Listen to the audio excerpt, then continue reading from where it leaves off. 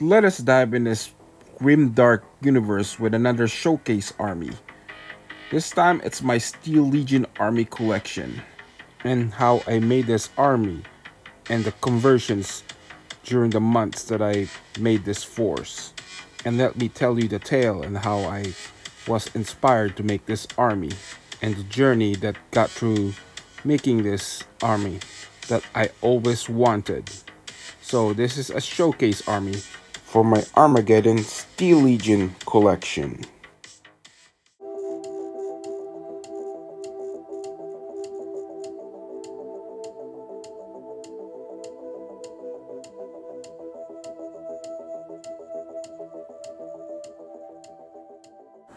This is the inspiration that got me to build a Steel Legion army.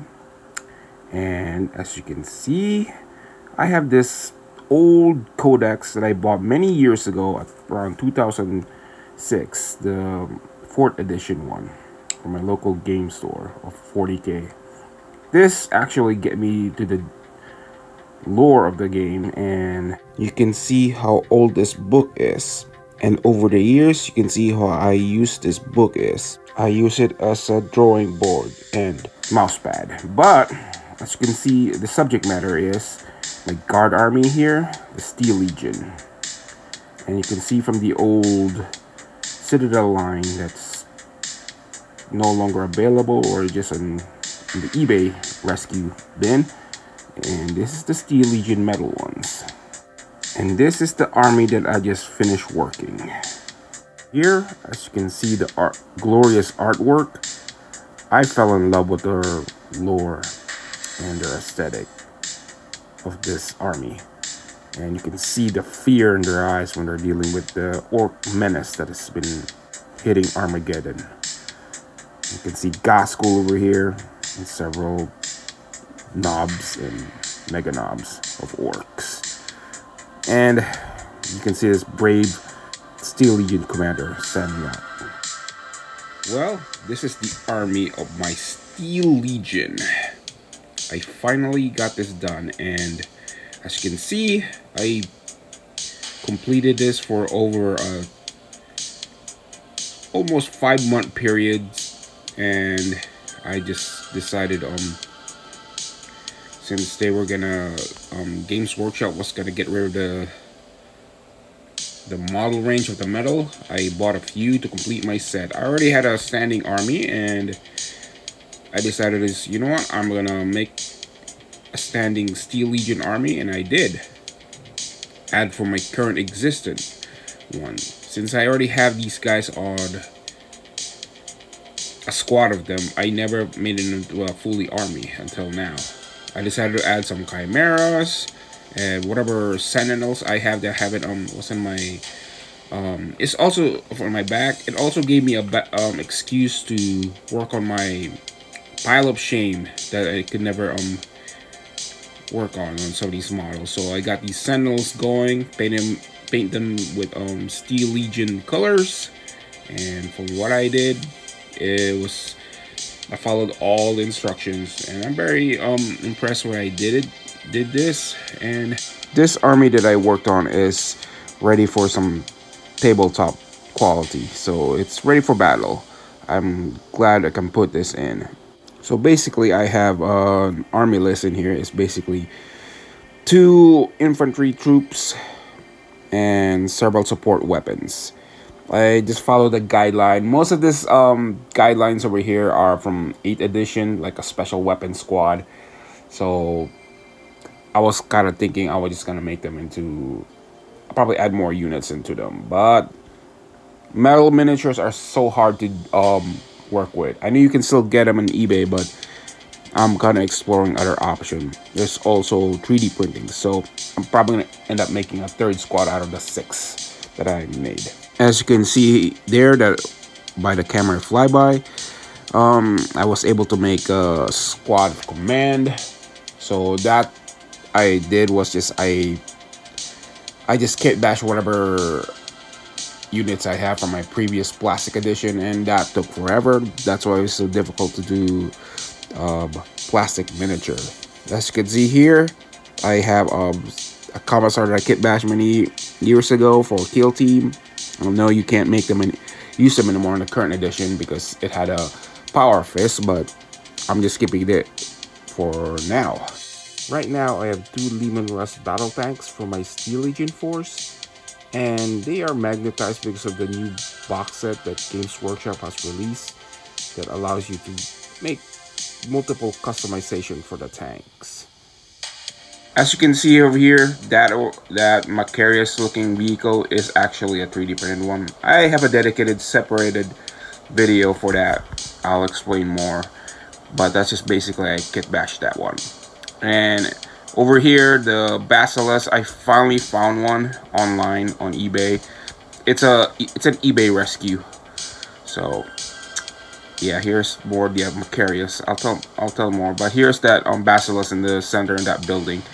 That's a Forge World kit, but I have the um 3D print back of the back because it's missing a door so I had to 3D print something in there to fill it up and it's good enough for me and I'm glad I ha have a Steel Legion um, Basilisk. Now you're asking, am I going to expand this army? Of course, but there's gonna be, I am not gonna collect any metal anymore because it's kind of, the posing, the posts are already double and I can barely um do anything with that. I can, I was lucky to convert what I have right now, but it's time I look for something new direction for a Steel Legion army. I'm gonna expand more into this. And plus, I can always add in some allied units. I got a Death Korps of Krieg and Cadian armies. And I also have Abhumans. I have some Ratlings along with this Force and some Ogryns. I might add some Rough Riders too. And I heard there might be a Rough Rider for the Steel Legion. To do that, I must have to look for some 3D printed stuff, so... Or I can just get maybe Attilans as a extra unit for this army. Maybe some anti-air vehicles like the Hydras to deal with those annoying flyboys from the orcs. In any case, I can see this army and how it works and maybe tweak it later. And here is Commissar Sebastian Yarrick, the hero of Armageddon and Hades Hive and many other titles out there and the bane of Ghazghkull Thraka.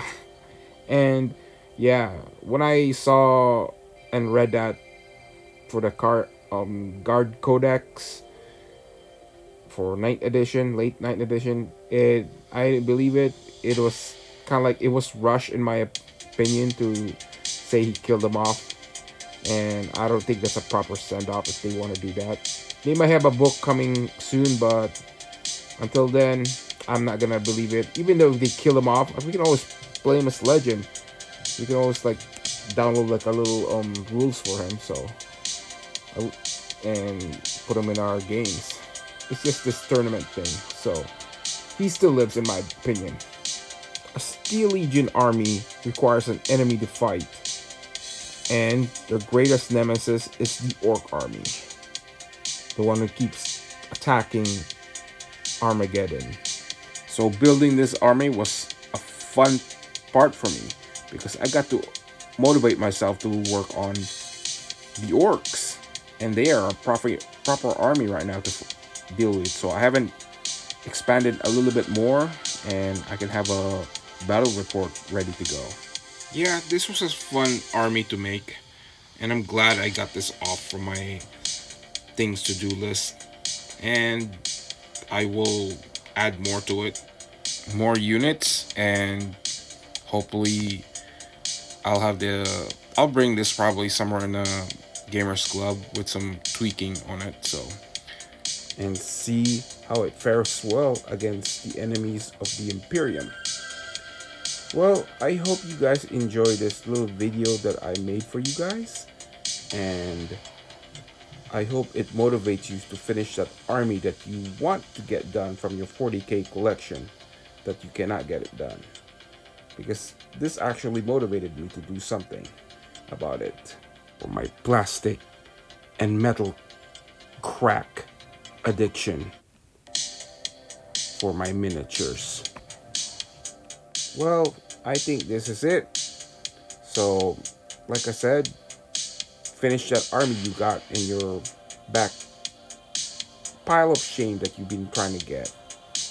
So, just leave me a comment and hit a like or subscribe for more videos like this. So, this is DeLeon Francis 60 here, signing off, and happy wargaming, everybody.